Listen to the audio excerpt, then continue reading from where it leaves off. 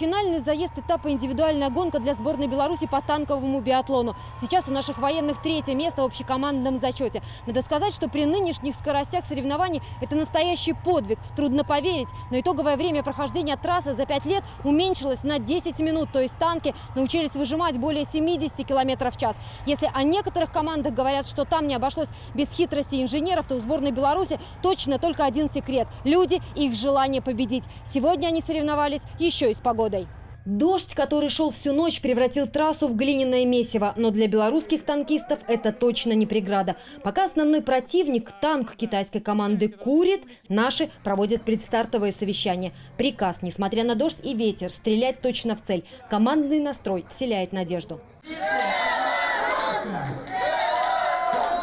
Настроиться на победу помогают и болельщики. Поддержка с трибун слышна даже еще до старта.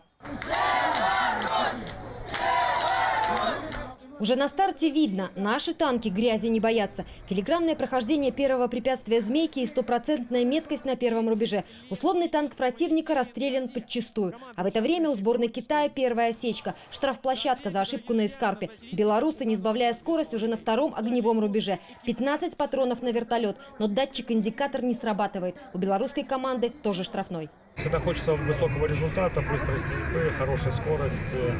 Но в душе немножко, да, есть такое затаиваться, обида небольшая. Визуально я наблюдал поражение, также наблюдал наводчик с механиком, который помогает в ходе стрельбы корректировать сам огонь. Это потом станет известно. Наш танк все же поразил мишень. Представители судейской коллегии по требованию белорусов выезжали на трассу. Убедились лично. Выстрел в цель. А индикатор не сработал. Дождь мог просто промочить фаер. В ходе выезда в поле были обнаружены поражения. Соответственно, э, время после заседания судейской э, комиссии будет уточнено. И время штрафного круга будет, соответственно, убрано с общего времени прохождения нашей экипажами трасс. А это минус 52 секунды. Для соревнования на скорость это много. Но теперь уже точно можно сказать, у нашего экипажа лучшее время. Наша сборная уже точно в полуфинале. Теперь команды сразятся в эстафете. На трассу выйдут сразу три белорусских экипажа. Дата полуфинала будет известна уже завтра. Светлана Каргульская, Светлана Чевдарь. Наши новости. Полигон Алабина. Московская область.